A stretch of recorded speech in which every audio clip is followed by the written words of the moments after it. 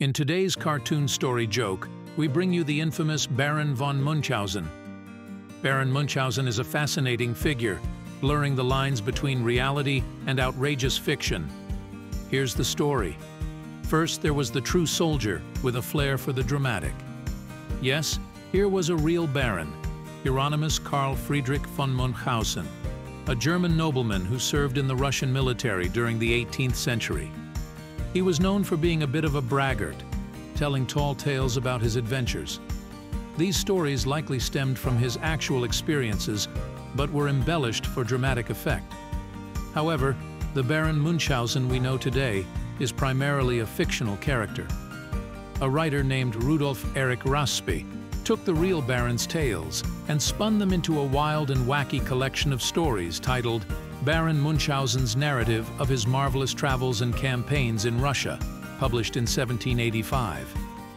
These stories were wildly popular and introduced the world to the outrageous exploits of the fictional Baron Munchausen. Now, The Adventures of the Baron is where logic goes on vacation. The fictional Baron is a notorious exaggerator. His adventures involve him riding cannonballs, pulling himself out of a swamp by his own hair, and even traveling to the moon, where his horse got stuck. These stories are filled with absurdity and humor, with the Baron always emerging victorious, no matter how impossible the situation. The character of Baron Munchausen has become synonymous with tall tales and outlandish stories. He's inspired countless books, movies, and even a term, Munchausen syndrome, a psychological condition where people fabricate stories about themselves. So, is Baron Munchausen real? A bit of both. The real Baron provided the seed, but the fictional Baron, with his incredible feats and wild imagination, is the one who truly captured the world's attention. Let's buckle down in our own story as this magnificent Superman of the 18th century. Ah, the bustling city of London, where fog hung heavy and social media buzzed like a hive of overstimulated bumblebees. Now, Baron Munchausen, a man never one to shy away from an adventure, found himself particularly intrigued by this phenomenon. Social media, you say? boomed the Baron, his voice echoing in the opulent drawing room. A place where one can broadcast their every thought and pastry to the entire world? Preposterous. Lady Fitzwilliam, a society matron with a fondness for gossip columns, adjusted her monocle. Indeed, Baron, it's quite the rage. People curate their lives, share their opinions, and chase those elusive likes. Intrigued, the Baron declared, Then I, Baron Munchausen, shall embark on a most daring expedition. I shall infiltrate this social media and conquer it with the sheer brilliance of my tales. The next morning, with the help of a particularly tech-savvy footman, it seems even the most outlandish adventures required some modern assistance, the Baron established his online presence. Now, choosing a profile picture was paramount. A fierce duel with a Yeti? Too common. Riding a hot air balloon powered by sneezing penguins? Slightly unrefined. Finally, a picture of the Baron, astride a cannonball mid-flight, a triumphant grin on his face, was deemed perfect. The Baron, ever the showman, crafted his first post. Greetings, fellow netizens, it began. I, Baron Munchausen, have arrived in the digital realm, prepared to be astonished by tales of my extraordinary exploits. He then proceeded to narrate his daring escape from a kraken in the Arctic, using a narwhal's horn as a toothpick.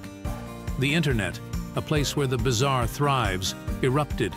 The Baron's post went viral faster than a runaway carriage. People were captivated. Was he a madman? A genius?